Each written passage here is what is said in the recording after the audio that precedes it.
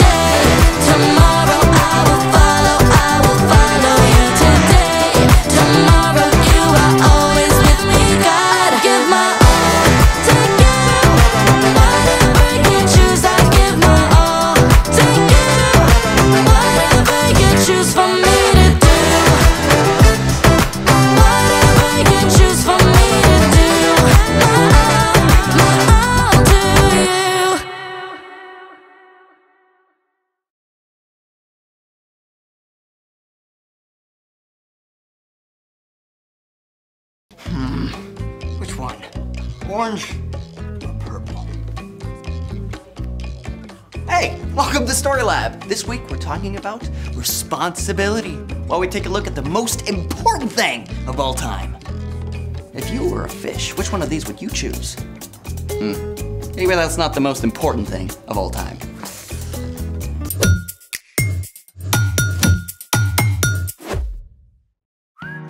Hey, I'm Carter. And I'm Zeke, We're talking about responsibility. which is showing you can be trusted with what is expected of you.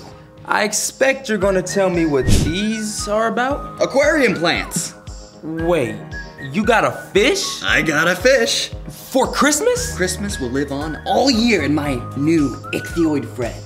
Ichthyoid means fish-like.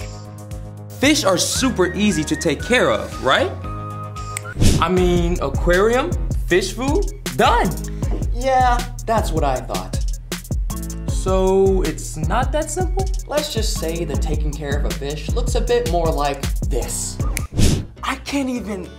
You need all of this for one tiny fish? One tiny fish, aka Finn. Finn, meet Carter. Carter, Finn. Finn, huh? Yeah, pretty good, right? Nah. But I see what you did there. What does all this stuff do? Oh, um, well, the water conditioner removes metals and chlorine from the water. And bettas are tropical fish, so this guy needs a heater to keep the water warm. And of course, you've got to check the water temperature. Isn't that a meat thermometer? It works really well. But mom did use this to check some baked salmon the other day, so. That does not seem right. Finn is a super picky eater, so I give him bloodworms as a treat. But he is super cute. aquarium test strips? Okay, see, this is the complicated part. It wasn't complicated already? When you first set up an aquarium, it has to cycle. That cannot mean what I'm thinking. The tank has to establish a nitrogen cycle. See, fish waste and extra food decompose, creating ammonia. Ammonia is poisonous to fish, but over time, good bacteria grow inside your aquarium. They break down the ammonia into nitrite and nitrate, which still aren't great for your fish. But when algae grows in your tank, it eats the nitrate as food. So, how long does it take for this whole nitrogen cycle thing to work? Two months. Two months? How's Finn going to make it? Well, I gotta test for nitrogen and ammonia every day and do lots of water changes. That sounds like a lot of work. Finn is totally worth it. I think. Well, I certainly hope little fish face here feels the love. Speaking of love, it's time for. The story before the story. Today, we're in the book of Matthew.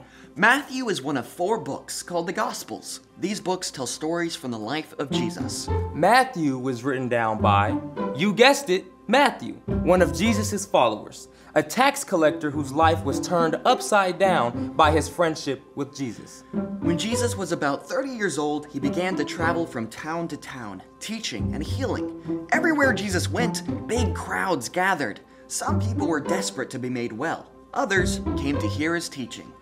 But the religious leaders were troubled by Jesus and feared that he would change things. So some of the leaders tried to trap Jesus. They asked him trick questions, hoping to prove him wrong or stir up the crowds. But Jesus always knew the wise way to respond. Which is where our story starts. Hey, hey, everyone. I'm Brian. So, the religious leaders had become more and more worried about Jesus and his teaching. When Jesus entered Jerusalem to celebrate the Passover festival, great crowds welcomed him as a king. So, those religious leaders began making plans to arrest him and uh, amped up their attempts to trick him. Who told you to do all these things? Yeah. What gives you the right? In every case, Jesus avoided their traps and gave wise answers. When one group of leaders failed to catch Jesus in his own words, another group, the Pharisees, decided to give it a try. One of their best law experts stepped up to test Jesus. Teacher, which is the most important commandment in the law? Ha! Whichever rule Jesus picks as the most important, he'll have to leave out the other 612 laws. Then we can get everyone mad at him for choosing the wrong one. Yes. I love it when a plan comes together. But Jesus just answered wisely once again. Love the Lord your God with all your heart and with all your soul. Love him with all your mind. This is the first and most important commandment. And the second is like it love your neighbor as you love yourself. Everything that is written in the law and the prophets is based on these two commandments. Okay, you see the amazing thing Jesus did there? He said that when you show love to God and show love to people, you will also be following all the other laws.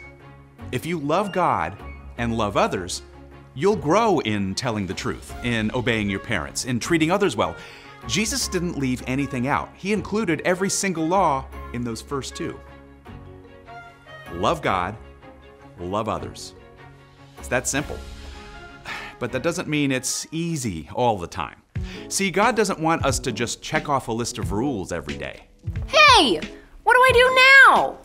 When we follow Jesus, God sends the Holy Spirit to be with us and guide us.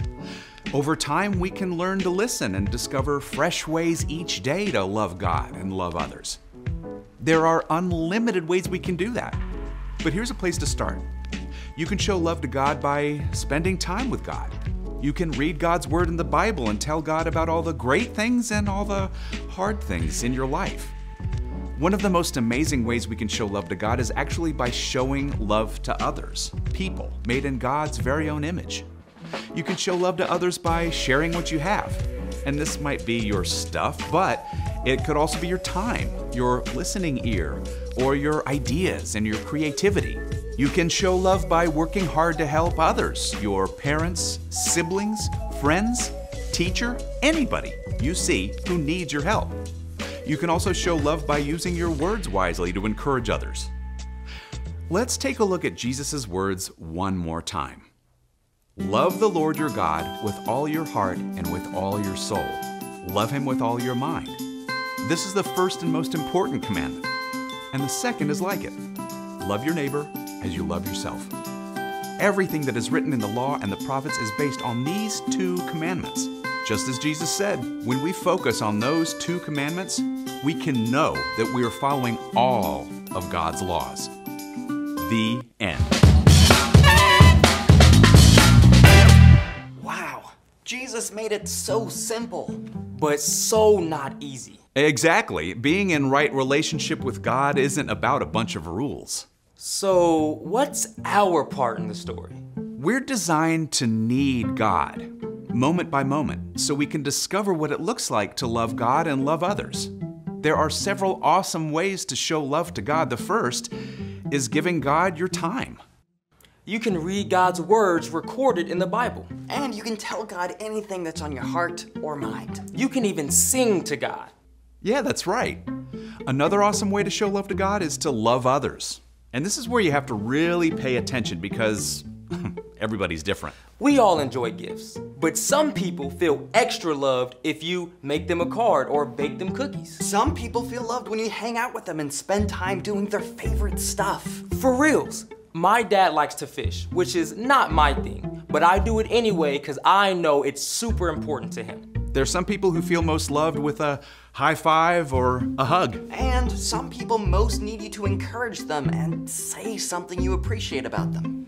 There are also people who really feel loved when you do something for them. Like when you unload the dishwasher when it's your brother's turn. Or make sandwiches for dinner so your mom or dad don't have to cook. Just use your imagination. There's always some way that you can show love to God and to others. See you next time.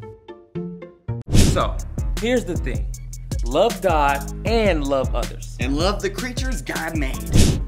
Can we feed him again? No way, no how. But it was really fun to watch him slurp those worms up like spaghetti. Never overfeed a fish. But we can entertain him. Oh. With my new betta playlist. Look, he's dancing, he's grooving, look. Go Finn, go Finn. Thanks for joining us in the Story Lab. See you next time. Go Finn. Look, he's doing his fins. You see the fin and Oh, fins? yeah, yeah, oh, yeah. You see? You just got it? That's right. That's why you. Oh, okay, now I get it.